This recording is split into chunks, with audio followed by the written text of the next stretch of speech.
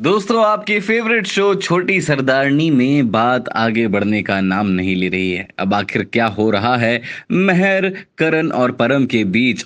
और अब तो सरबजीत को भी कुछ ना कुछ महसूस होने लगा है। चलिए बात करते हैं। नमस्कार, आप देख रहे हैं बॉलीवुड स्पाई दोस्तों, अभी तक हमने देखा कि किस तरीके से सरबजीत को भी यकीन हो गया है कि मेहर ने परम का हाथ छोड़ा और करण को बचाया। आपको बता दें दोस्तों, एपिसोड में हमने देखा कि सरबजीत जो है, वो परम को बोर्डिंग स्कूल भेजना चाहते हैं। इस माहौल से दूर रखना चाहते हैं। मेहर ने बहुत समझाया, पर सरबजीत अपने डिसीज़न पर टिके हुए हैं फिक्स हैं। उन्होंने कह दिया है कि भाई, मैं तो भेज के रहूँगा। अब दोस्तों, बात करते हैं प्रोमो की। प्रोमो में नज़र आ रहा है कि परम का इंटरव्यू चल रहा है, जिसमें परम से इंटरव्यूअर कहते हैं कि अपनी माँ को बुलाइए।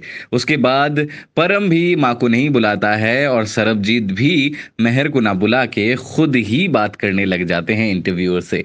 हालाँकि इंटरव्यूअर कहते हैं कि कि हमें दोनों से बात करनी है पेरेंट्स से, यानी कि फादर से मदर से। उसके बाद हमने देखा कि परम खुद ही ये मन ही मन मान लेता है कि मेहर मॉम नहीं आएँगी मेरे इंटरव्यू में। आगे दोस्तों, क्या होगी कहानी? ये तो एपिसोड में ही पता चलेगी। लेकिन दोस्तों, सवाल एक ये भी है कि क्या छोटी सरदारनी में अब जल्द ही एक लीप आने वाला है? कुछ साल आगे बढ़ा कर ये कहानी आपको दिखाई जाएगी। क्या ऐसा होगा कि परम बोर्डिंग स्कूल चले जाएँगे और फिर लौट के आएँगे? कई सालों बाद वहाँ से कहानी शुरू होगी। आपको क्या लगता है कॉमेंट सेक्शन में बताइएगा। अभी के लिए इतना ही, देखते रहिए बॉलीवुड स्पाई।